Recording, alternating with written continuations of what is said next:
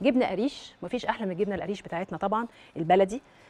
جايبة توم ونفعصه ونقطعه صغير نعناع ناشف حبة بركة وطماطم وليمونة. طماطم. نجيب بقية الفلفلاية بتاعتنا ونقطعها. أهو. ما حطيناش كتير. حط شوية حبة بركة.